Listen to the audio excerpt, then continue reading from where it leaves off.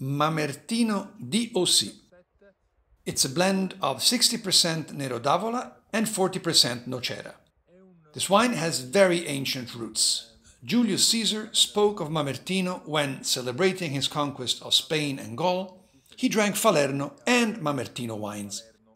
The Mamertini were a people who inhabited these areas and were instrumental in Rome's win of the Second Punic War.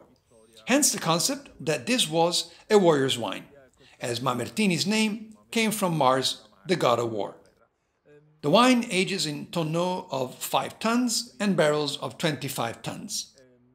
The result is a wine with aromas of grass, sweet cherry, cocoa, and with a character and freshness typical of Nero d'Avola. The Nocera is a great variety which lives only in this part of Sicily. Only very few acres exist, just as there are very few producers of Mamertino.